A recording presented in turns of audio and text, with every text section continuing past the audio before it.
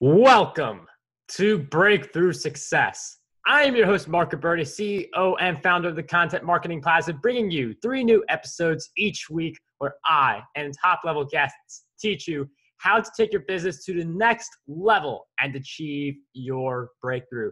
Now, if you are looking for a big breakthrough in your business and you want to talk with me for a little bit, I do have free strategy calls available at marcguberti.com slash strategy, which will be in the show notes.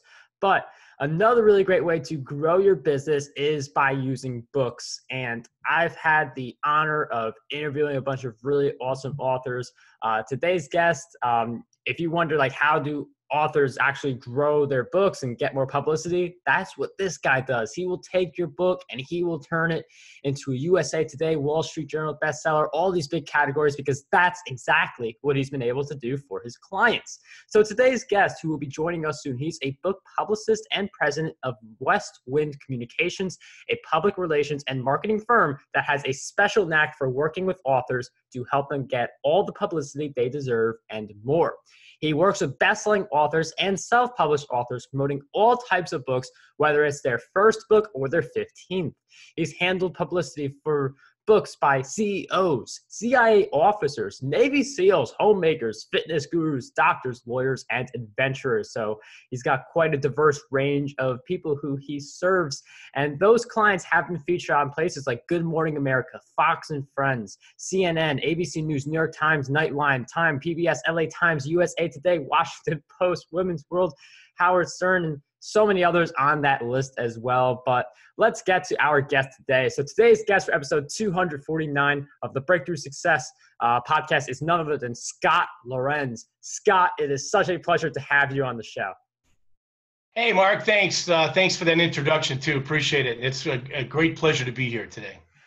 Scott, I'm so happy to have you on the podcast. I know we first met at the National Publicity Summit. We were uh, chatting a little bit beforehand, though, so definitely great to have you on the show. I look forward to this uh, because a lot of people they want to figure out how do I get my books more exposure.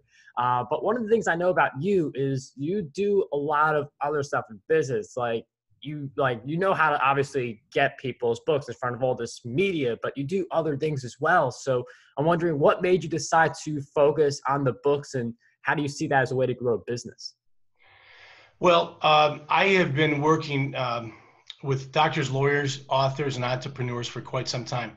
In fact, when I was in college, I went to uh, the University of Nevada, Las Vegas, and I brought in authors to speak at our university. I was director of student activities and then later student body president. And I brought in guys like uh, F. Lee Bailey, uh, David Frost, uh, you know, my, our, our team, our committee, and so forth. We brought in Leonard Nimoy. We, we just brought in so many interesting people, and I was fascinated by the business. Then a local guy, a TV show host, got a hold of me and said, "Hey Scott, I uh, represented a uh, Howard Hughes's aide, Gordon Margulis, and I, and I'd like you to promote the book." And I go, "I don't know how to promote a book. I mean, I was I was I was uh, 19 years old." And he said, "No, yeah, no, you do. and here, let's just work on it together." So that was my first book. It was in college and it was called Howard Hughes: The Hidden Years, and it was about how Howard Hughes had actually kind of uh, gone off the rails there. He, he, basically had Alzheimer's at the time. They weren't. They just thought he was a little nuts. But uh, it was an interesting experience. I, and that was my first book that I promoted in college. So that uh, kind of goes way back. It was fun. It was a fun experience.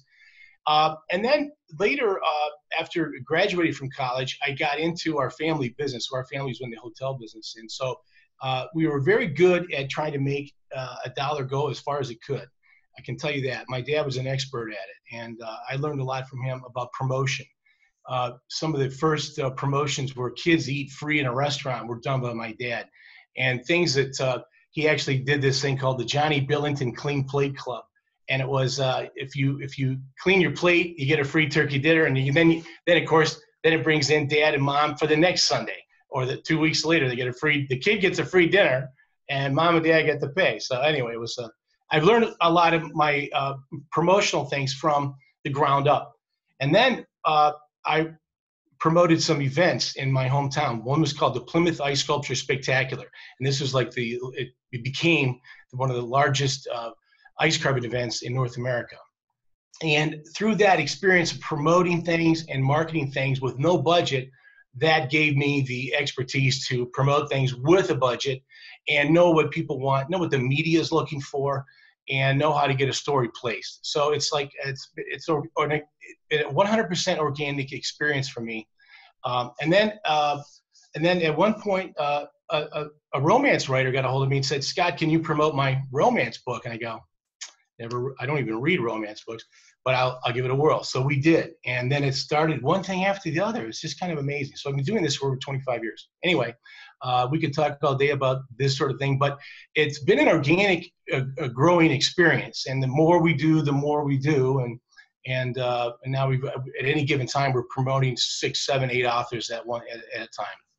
So. Yeah, I mean, a few great things right away uh, from Scott's answer. I mean, uh, a lot of people that think, you know, if you want, if you have a problem in business, how do you solve it? Throw money at it, and that could be the wrong approach because sometimes you throw money in the wrong way. And I feel like if you are like Scott, where uh, you do start with something where you have no budget, you just become really good uh, with the budget. So I you mean, get right really now, creative. Creative. When you have yeah. no money, when you have no money, you've got to create. You have to be creative. I also worked for a billionaire, Tom Monaghan um, and uh, he had he was the founder of Domino's Pizza. Okay, and I can tell you that we went, I went from a, a, family business that really didn't have a lot of money to work with to a company that had a, a lot of money to work with, and it was quite a contrast. And you look at things differently when you have a lot more money. You're, I, I, in the end, I think people are less creative because money is the easiest way to uh, to uh, make things happen. Okay, but with promotion, you've got to actually have a good idea. You've got to have something interesting. You got to make people want to do something, try something, because you're selling the actual virtues of the product or service or item. So I, I it just it's a, it's different than just saying here buy my my widget. It's fifty bucks or whatever. It's you've got to convince people that it's a good idea. So anyway, I cut my teeth on on the promotion side of things, and I think it served me well in my career in book marketing. And I'd really love to get into both those uh, uh, budget approaches because there's some people listening to this right now who they're on a shoestring budget. They don't want to spend that much money. There are other people who they've got a hoard of money that they just want to spend on their book. Uh, so I'm wondering first if we could hit the uh, how do you promote a book when you have no budget because I feel like that's more people. Uh, okay. But then later on about the other one. So one of the things that I that I do uh, with with people if with no budget, here's what authors can do. Okay. You go to my blog, which is book publicist.com. I'm a book publicist. So go to book publicist.com. There are tons of articles on there that I've written about how to promote your book. Many times I just implement what's on my own what, on my own blog for my clients because they don't have time. They've got the money to uh, to hire me, but they don't have the time to implement it. So, for example, one of the things on there is a list of the book awards that people can go after. There's 43 book awards. There's way more than that, but we've kind of vetted 43 of them. And so uh, you apply for the award, you submit your book, either a, a physical copy or a paperback or a Kindle version, and then you pay your $50, $75 entry fee. And then in a couple of months, they say, hey, you won, or hey, you were got honorable mention, or hey, don't call us again. I don't know. It's uh, but the thing is, if you get an award, then you then put it in a press release and you send it out. Or you tweet about it. You put it in Facebook. You say, "Hey, I just won the XYZ Florida Book Festival Award for uh, fiction." Uh, in uh, or, or, romantic fiction or whatever genre that it's in. And guess what happens? Uh, the more awards you win, the more credibility you get. And as a result, uh, the media and other people will take a look at your book. I can tell you time and time again where I've had this happen. So I'll tell you one time where we had a lady who I, I sent, a local uh, Michigan woman, whose book was about caregiving, and I had sent a press release out to you know all the TV stations in in, in Michigan in this market area, and they uh, didn't do anything with it. Then she won an award, Florida Book Festival award or something. I submitted a press release. Guess what? It's like, oh, we'd love to have your author on because she's you know he's an award-winning author. So a couple things happens there. You get credibility. Uh, it, people take notice, and nobody in the media wants to make a mistake. Okay, they really don't. if they're going to put somebody on TV, they want to know that they've done an interview before. They don't want to really put the first first timer on. Uh, they really want to uh, hedge their bets. And when it gets to the national level, you're not likely to get a national hit unless you've done local TV news. Okay. Uh, so you really need to get those uh, TV uh, clips under your belt and on your website, and so that you have a what do you call a um, a, uh, a, a, a, a, a file of B-roll so that uh, people you could give to people. You say, yes, I was on this show, that show, another another show, and uh, here's what I look like, and that's what they want to see. Okay, it takes the it takes the gamble out of it. So anyway, so book awards a big thing. Go after book awards. Uh, I just put a post up today, uh, Mark, that talks about TED Talks, and uh, TED Talks are really great. And if you can do a TED Talk, then that's another credible thing to do. Add it to your website, Facebook page, and uh, it helps with speaking arrangements. Okay, so those are two things you can do uh, that are basically free. You know, low cost, I should say. Yeah, I mean the TED Talk is definitely free if you, it's just about relationship building. The awards, I mean, there's some money you put into that, but I mean, if you put down maybe one hundred dollars, and I believe some of these you get in for free to enter. Not not all of them, but like if you even put down a hundred, you get it some rewards. I mean, uh, the amount of national publicity that gets, that's an easy ROI. So uh, it's an easy one. Great insight. Yeah, and so there's there's a number of things you can do, and just the the, the issuing a press release in itself is free. And most writers are good writers. If you follow a format or template, you can put together a nice press release and you talk about the fact that your book is out there. Now, I mean, this is what I do for my clients, but um, it's a, uh, uh, but people can do it for themselves. Now, it's, you can argue all day long about whether or not it's more effective to have a publicist do it or whether you could do it yourself. And listen, some of the best projects I've ever seen are done by the author themselves. But often an author doesn't know when to stop talking. that I have found. And they think their book yeah. is the greatest thing ever written. And uh, they just don't know when to turn it off. And uh, that's where they get into the problem when they try pitching their own stuff. Okay. So uh, I've never met an author that wasn't proud of their work. It's like saying uh, right. my baby Right. My grandbaby's yeah. ugly. Well, no one's ever going to say that. I mean, right. geez, you know, it's uh, it's uh, their book is their work, and their their work is their effort, and they think it's great. So, um, but anyway, um, so a press release to the right, you know, outlets uh, about your book can be very successful, and that's why people hire me because publicity still is the best, most effective way to get exposure for a book. It's definitely the most cost effective. I'll give you an example. Business card size ad in the New York Times book review on Sunday. Guess how much that costs, Mark? Oh, business card size ad. Uh, Take a stab at I'll, I'll, I'll say 500. 10 grand. 10 grand. I, I knew it was going to be either really low or really high.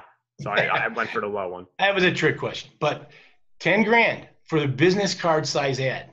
Now, you know what you could put on a business card that can be, you know, read in a New York Times on Sunday that'll catch somebody's eye? Not a lot. Okay. So, but a nice write up with your book cover the size of your hand, with another uh, article next to it the size of your hand, that's uh, worth uh, an incredible amount of, uh, of money. Now, one of the things that individual independent authors uh, have trouble with, and I work with mostly independent authors, self-published, is that the New York Times isn't going to cover their book, and the reason is because it's not backed by Simon Schuster, Hachette, uh, Random House, and the big publishing companies. Okay, that's the problem.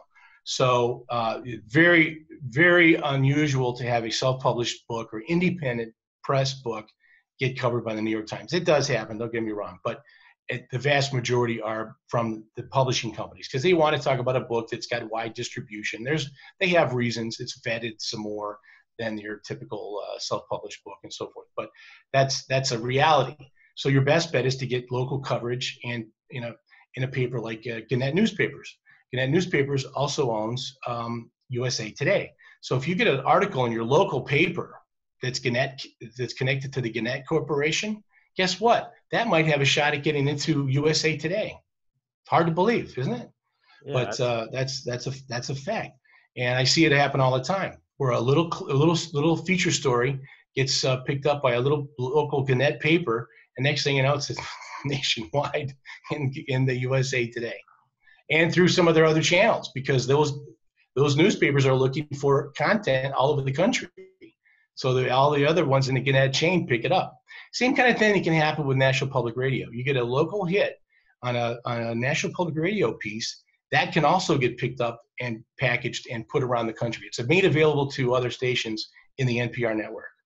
So a lot of little tricks uh, to, to leverage it, and there's really nothing better than, than PR to, to uh, get a book promoted. It's the most cost-effective way. So.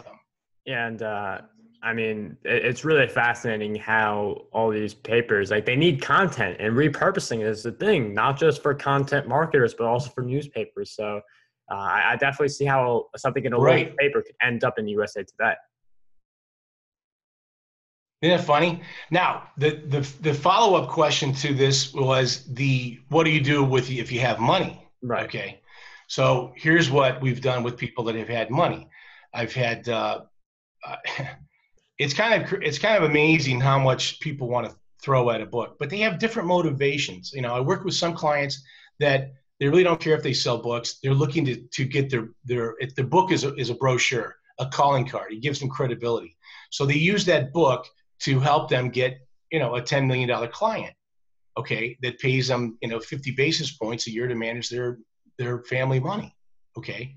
So that book gives them the credibility, or adds to the credibility they already have to help them get a, a client in the door to manage their money. That's one example. Another example, I've had clients where they are really big on speaking engagements. That's what they want. They want to get a five, ten, or five or ten thousand dollar speaking gig, and you just start thinking about the books you got to sell to make five or ten grand. You're way better off, uh, uh, unless they're selling them in your sleep. You're better off with a five or ten thousand dollar speaking gig, uh, and so some authors use that as a, as use the book to help them get gigs. And then, in addition, there are authors that are just interested in clients you know they are charging fifty to one hundred thousand dollars for a client uh, to do consulting services. So the book gives them the credibility that they need to demonstrate their capability, and so that's another reason that uh, people do it. Now I had another client here this fall that uh, this past year that. Um, was very focused on selling his book on uh, to high net worth individuals, and it had to do with real estate and stuff like this uh, real estate investment. And so um, they uh, wanted to buy ads on Fox TV and CNBC. So we did, on their behalf, buy those ads for a 30 second commercial. You won't believe how much those are. They're a fortune. And um, we, um, I'm telling you what, it was, uh, we, it was probably a $75,000 uh, purchase just on TV time on those two channels. Okay. So, uh, but if that's what you, if that's what makes it work for you, you know, then it's then then by all means do it. And if you've got the, if you've got the money to do it, then you know go for it. Uh, but um, and then we did the you know regular PR for them as well. So it's uh, kind of fascinating. Uh, then some people say they want to be a New York Times or a, or a USA Today or a Wall Street Journal bestseller. Well, that's a whole different strategy, and that that uh, and uh, and that's something that needs to be implemented. Now, one of the things that, that we do as a re- regular routine thing now is uh, Amazon bestseller, and um, and that is something that can be done uh, by you know picking the right categories, promoting the book on a certain dates, and uh, and and doing some things all you know above board, above table. Uh, things that will help Amazon discover the book and then promote it themselves through their algorithms. So there's a lot of there's a lot to this business. Uh, and Mark, I'm sure you can appreciate this. You're dealing with it all the time, um, and it's uh, it's kind of fun to uh, to keep keep up with it all. And to uh, I love talking to authors who've like cracked the code, and it's like, oh wow, this is great. So we'll we'll we'll.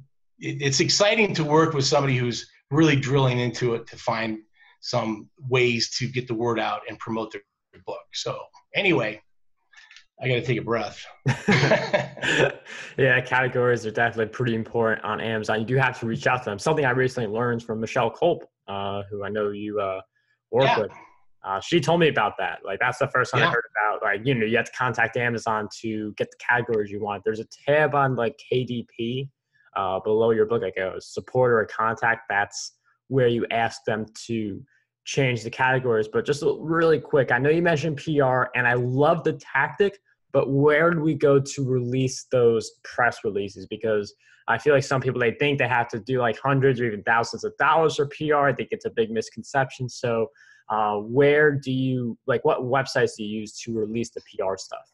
Well, I use a number of different things that are proprietary that I have. I keep, I maintain databases. Okay. So I've been in this business a long time. So I have databases of reviewers that I've worked with over the years that uh, will review a book on Amazon. I've got media contacts. I can pick up the phone, call them, or email them, or whatever, and say, "Hey, look, I got a great new author. It's perfect for your book." Boom, and then they line it up. So those are those are uh, that's the benefit of working with someone like myself who's actually in the business that knows people, and that's kind of what you're tapping into when you hire a publicist. You're tapping into their network and so forth. But on the do-it-yourself side, uh, I mean, you got to compile the databases yourself. I mean, so if you let's say your book is on um, on golf, okay, then then maybe you need to uh, reach out to the sports writers that cover golf at various publications around the country, like Golf Digest, and like the, the, magazine side of things, ESPN, although not for long, they're going to be going out, and some other uh, entities that are covering that topic, or some individuals. So you just have to find them.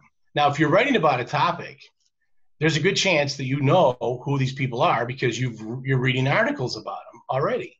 You know, if you're writing a topic, if you're writing if you're writing about golf, then you probably know something about golf theoretically you should and you should know some of the best uh, feature writers out there. So you should be able to reach out to them on a personal level and say then you know give them a pitch about the book.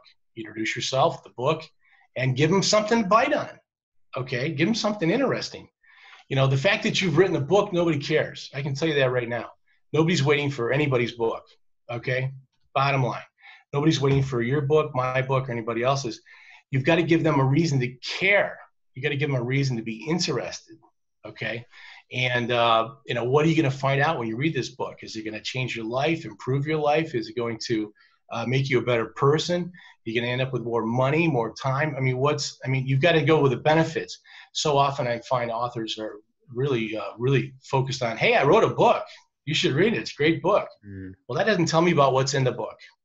You know you should read this book will help you save time save money you know better uh, better sex life or whatever it is you're promising okay or whatever else that you're that you're talking about. You've got to sell the benefits of the book. And what is in it for the audience of you know cbs tv or the audience of the you know chicago tribune? Why should they care about this book? They need to care because there's something in it that they're going to that they want to read because it'll help them improve their life five things that are in your kitchen that you need to throw out today that uh, you know think about the teasers they do on tv it's like uh, you know tune back in in five minutes we'll have five reasons why you need to get rid of half the stuff in your refrigerator. And you go what? So that's you know a tease that will make people go i gotta find out what's uh, you know on my refrigerator i gotta throw out. So this is the you've got to think like a, a, a you got to be promotion minded. You got to think about that that you know the way that the TV people think and, and so forth. Bless you, bless you. Thank you. and so anyway, I mean, it's great to have this uh, mindset where you are thinking like what they want instead of uh, me getting all this exposure from you. And I mean, there are a lot of people who have written books and there's just such little time. I mean, I see that on Breakthrough Success. I have to be more selective with the guests who I have on the show. And I mean, I like what I'm doing and stuff, but I mean, like if you look at NBC and like uh, CNN and Fox, like those people are getting like probably thousands of different pitches each day or uh, whatever ridiculous number it is. And, uh, you know, like the fact that you're an author, there's certainly more you have to uh, put in there, as Scott mentioned. And I like how Scott said that, you know, you can do this by yourself, but it definitely takes more time. And I see Scott as a book publicist, someone who can definitely speed things up for you. uh, get you the results. Uh, so I love how he's offering you both options where you can do it yourself. You can go through Scott's blog and see what's working, or you can uh, hand over the work to Scott. So definitely a great approach there. Yeah, thank you. The um, you know it's uh, with Google now. Everything is. I mean, obviously, it's you know it's so easy to find. You you find that you you find the topic and you find the publication. You find the writer. You get their email. Everything is available to everybody right now. I mean, there's very few people that are hidden away. Now they may not answer the phone. I can tell you this.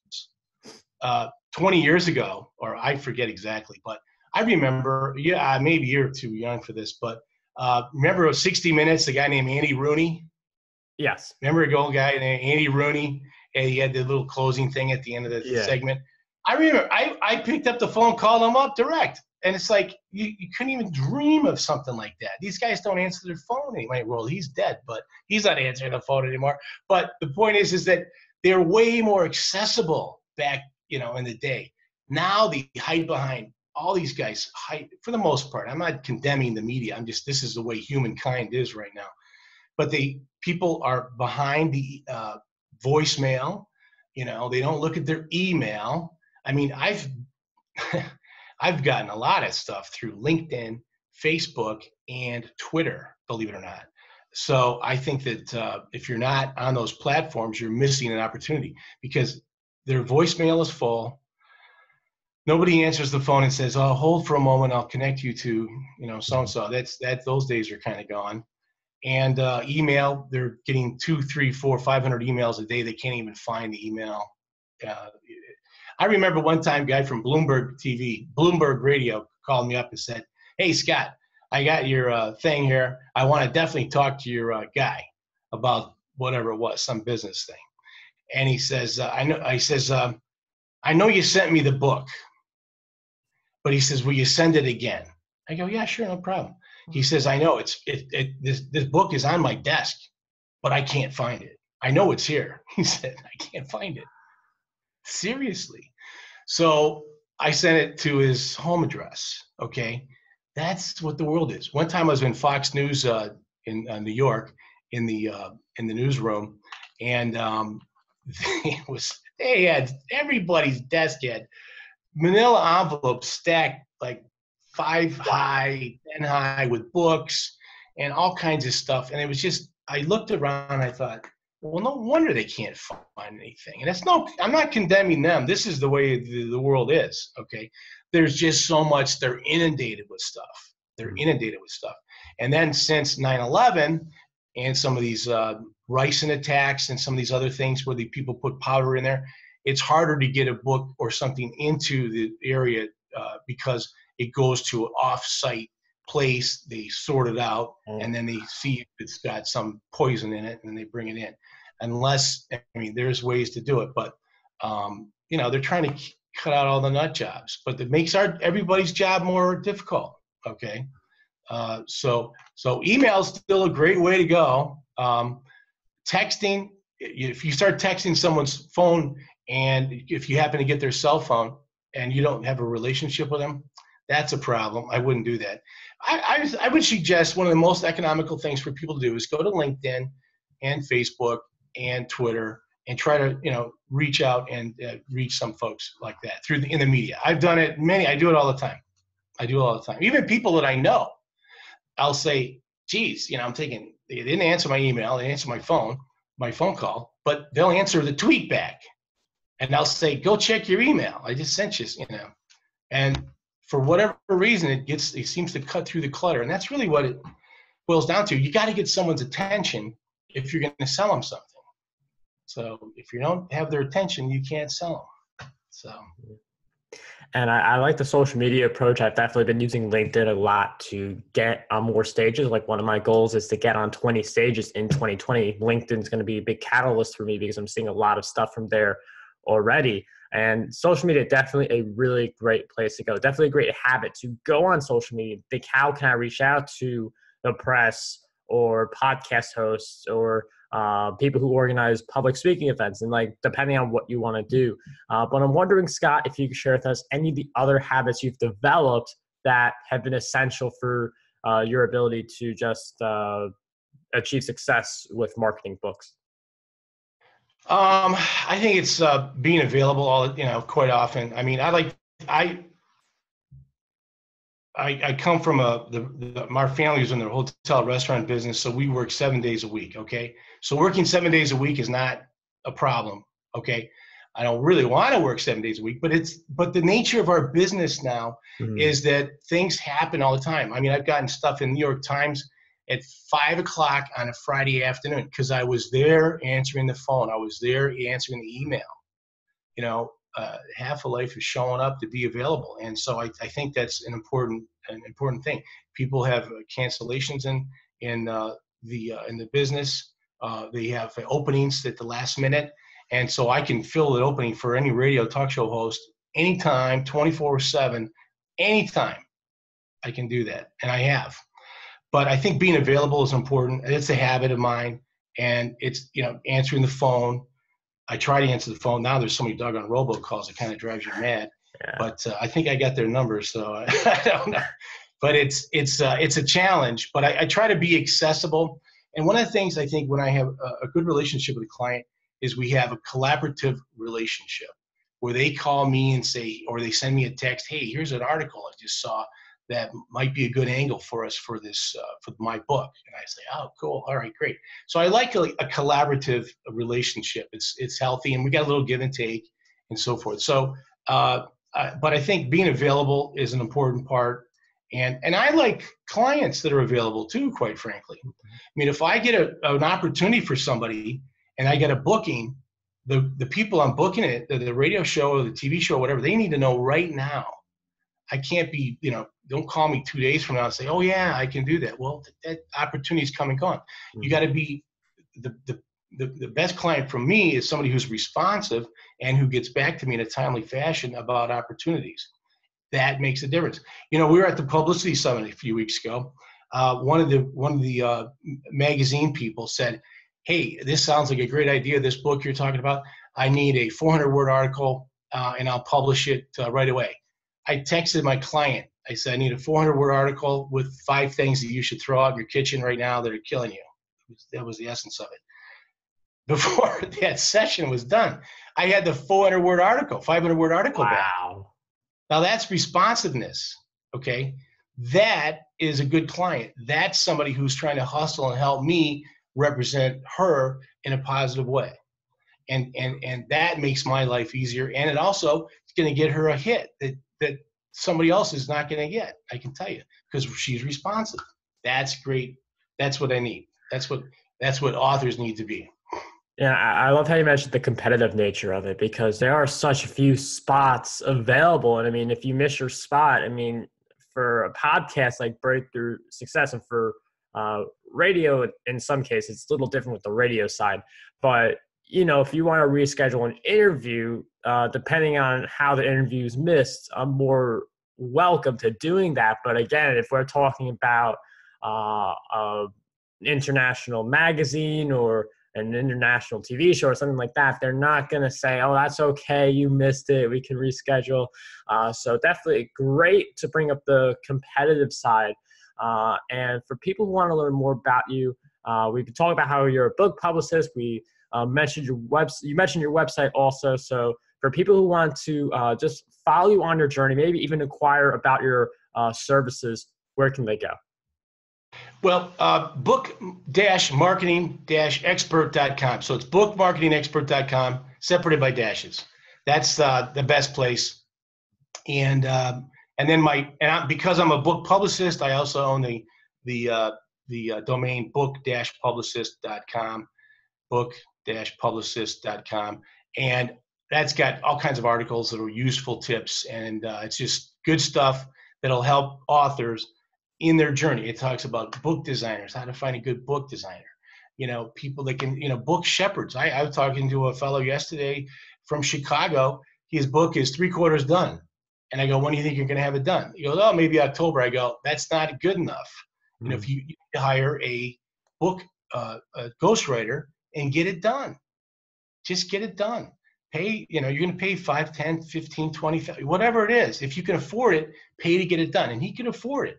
It's like just get it done. It's you're you're missing opportunity. Every day your book's not published and ready to go, you're missing opportunity. Okay, so um, anyway, but those are the two best websites: bookmarketingexpert.com and uh, bookpublicist.com, separated by hyphens.